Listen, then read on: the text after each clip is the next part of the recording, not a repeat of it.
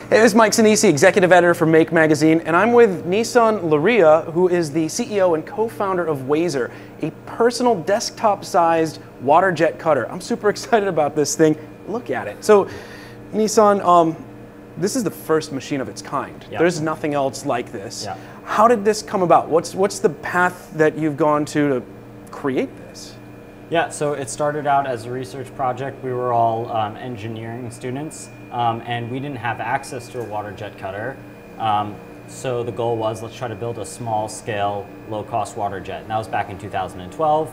We worked for a few years, developed our engineering skills at other companies, and then mid last year, my co founder Matt and I quit our jobs to start to develop this full time. Water jet cutters, the ones I know, they're huge. Uh, they're huge, they require massive infrastructure, a crazy PSI just for the water pressure that is required for, for, for cutting anything.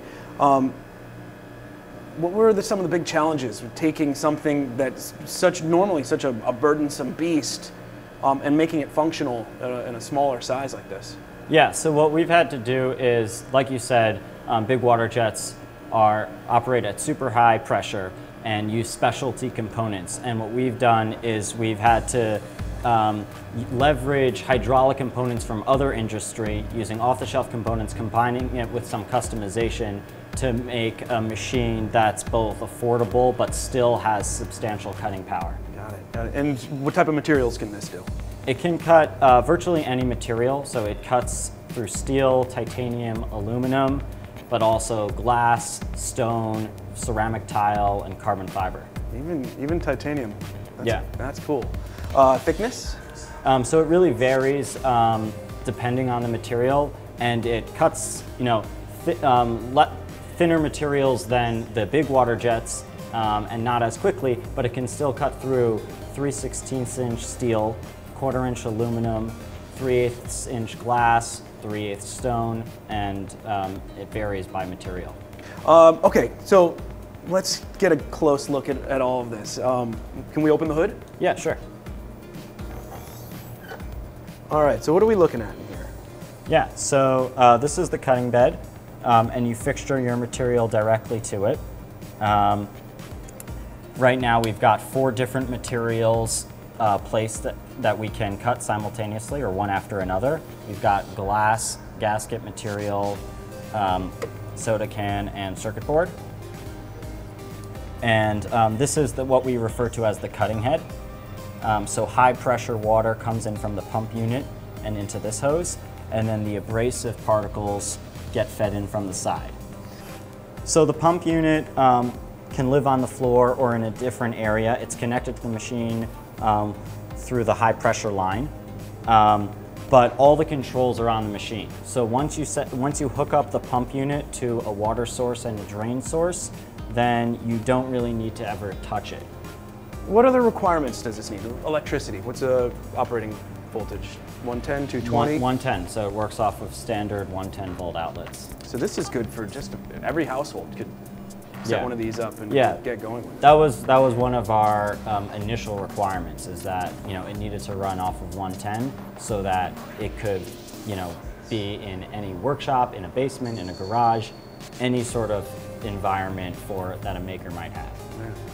This thing's all set up, we can fire it up and we could do a little demo cut on it, right? Yeah, yeah, yeah. All right, let's do it. So the first thing that you do when you uh, want to operate the machine is make sure that Wazer's got abrasive. Um, could pour some extra in here. You know, we've integrated the abrasive hopper into the machine, which is a nice feature so that it's all contained into one machine. The, only other thing we've got to do is this, it's um, a manual Z adjustment for the height. So we have this little spacer here, put it in, loosen the Z, set it, and it's good to go.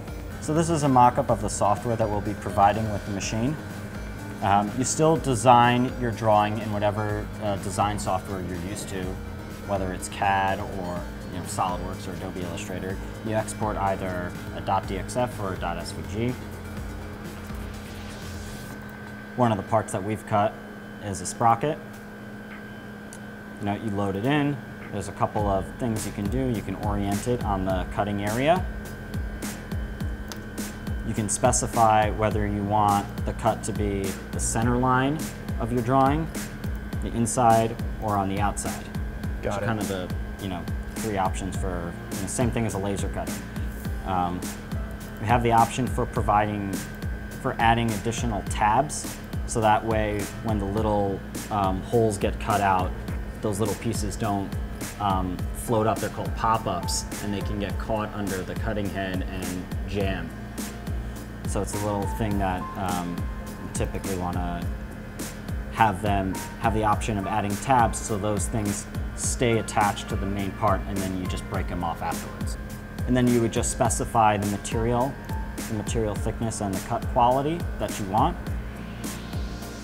And then you press cut and it gives you some little information. This was a sprocket.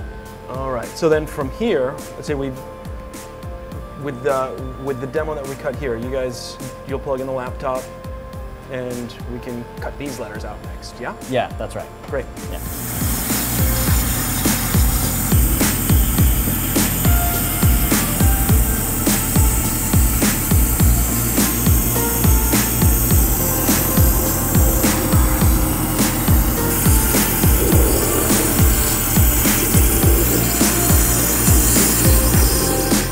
And once you're done, the abrasive collects in these buckets over here, and so we can dump out this abrasive conveniently. Am I able to pull these out? Are Yeah, yeah, you should be able to just pop those pieces out.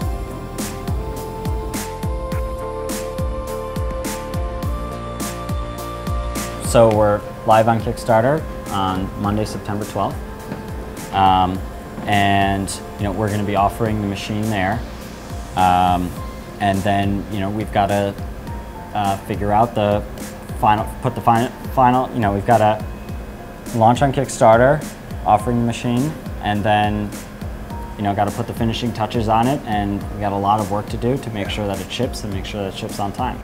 Have you guys specced out um, rough estimate delivery for when you think you might be shipping? Yeah, it'll be in um, the fall of next year.